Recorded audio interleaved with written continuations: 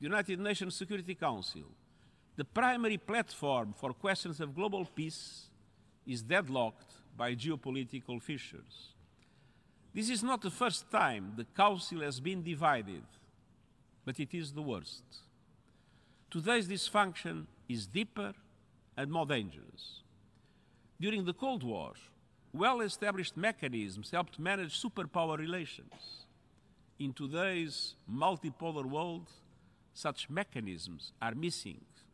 And so our world is entering in an age of chaos. And we are seeing the result a dangerous, unpredictable free for all with total impunity.